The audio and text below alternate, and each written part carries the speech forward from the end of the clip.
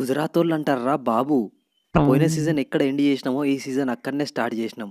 రాహుల్ టేవాటియా రషీద్ ఖాన్ మీ ఇద్దరు దగల్లువే. భగవాన్ అచ్చా కరేగాతో సాధు బిచ్చా కరేగా.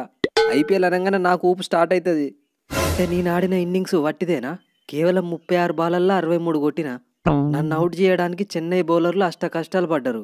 ఇక వాళ్ళతోనైతలేదని నా అంతటా నేనే ఒక డమ్మీ షాట్ ఆడి అవుట్ అయిపోయినా. ఎందుకు? గింతమంది ఆడియన్స్ వచ్చిరు వాళ్ళకి కొంచెం మ్యాచ్ ఇంట్రెస్టింగ్ ఉండాలని రాహుల్ టేవాటియా రషీద్ ఖాన్ మళ్ళీ రావడానికి అట్లా చేసిన. గిల్లు బ్రో నువ్వు కొట్టింది అరవై మూడే నేను తొంభై రెండు కొట్టిన. అలా నాలుగు ఫోర్లు తొమ్మిది సిక్సర్లు. నన్ను ఎట్లా అవుట్ చేయాలన్నా కూడా మీ బౌలర్లకు అర్థం కాలేదు. వాస్తవానికి ఈ మ్యాచ్ మేము గెలిచేది ఉంటే మ్యాన్ ఆఫ్ ద మ్యాచ్ నాకు రావాలి.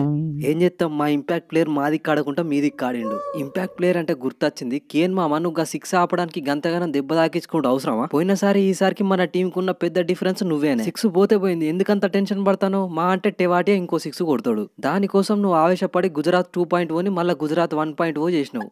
సారీ బ్రో ఫస్ట్ మ్యాచ్ కదా. మళ్ళా సిఎస్కే ఎవ్రీ రన్ ఇంపార్టెంట్ అని అట్లా ఫీల్డింగ్ చేసిన. రికవరీ అత్తతి టెన్షన్ పడకు. ఏంది ధోని బా ఇది? ఫస్ట్ మ్యాచ్లో ఇంపాక్ట్ ప్లేయర్ రూల్ నీకు ఉపయోగపడలే నాకు ఉపయోగపడలే. మాకంటే కేన్ మామ ఇంజూర్డ్ అయింది కాబట్టి ఉపయోగపడలే. మీకైతే డైరెక్ట్ బొక్కనే పెట్టింది కదా. కరెక్ట్ చెప్పిన హార్దిక్ బ్రో. అందరు మంచి టైట్ బౌలింగ్ చేస్తే ఇంపాక్ట్ ప్లేయర్ కింద వచ్చిన తుషార్ దేశపాండే పదిహేను ఎకరాం రేట్తో బౌలింగ్ చేసిండు. అక్కడనే మా మ్యాచ్ బిస్కెట్ అయింది. నీ అవ్వ సిమర్జిత్ సింగ్ నన్న ప్రశాంత్ సోలంకి నన్న ఇంపాక్ట్ ప్లేయర్ కింద తెచ్చినా అయిపోయింది. మీరు ఎవరిని తెచ్చుకున్నా కానీ మా తెవాటియా రషీద్ ఖాన్ ఆడే విధానం అట్లనే ఉంటుంది. ఇప్పటికి మేము పది సార్లు చేజింగ్ చేస్తే అలా తొమ్మిది సార్లు గెలిచినాం.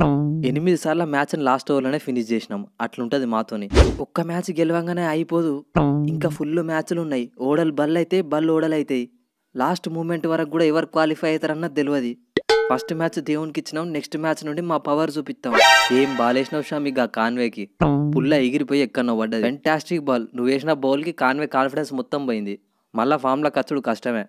Basically I'm a fast bowler ఇవన్నీ నాకు చాలా కామన్ నెక్స్ట్ మ్యాచ్లో కూడా ఎవరో ఒకరి పుల్ల అట్లనే దిత్తా.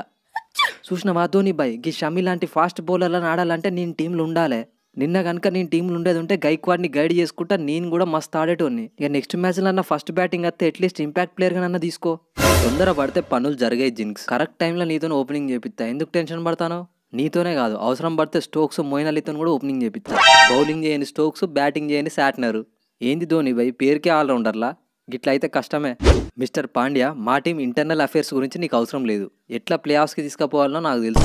ఎక్స్పెక్ట్ చేయలేదు కాదు? టీంలోకి వస్తానని ఎవరు ఎక్స్పెక్ట్ చేయలేదు కాదు? వచ్చి మళ్ళీ డక్అవుట్ కాకుండా ఒక ఇంపార్టెంట్ నాకు ఆడతాను అస్సలు ఎక్స్పెక్ట్ చేయలేదు కాదు? ఈ మ్యాచ్లో బ్యాటింగ్ ఫీల్డింగే చూసిరు నెక్స్ట్ మ్యాచ్లో బౌలింగ్ కూడా చూపిస్తా తోటి ఆల్రౌండర్గా కంటిన్యూస్గా నన్ను ఎంకరేజ్ చేస్తున్నందుకు కెప్టెన్ పాండ్యాకి ధన్యవాదాలు. ఏ it's okay man. You are the backbone of GT. Gujarat Titans game start చేసింది. మిగిలిన టీమ్స్ రెడీగా ఉండండి.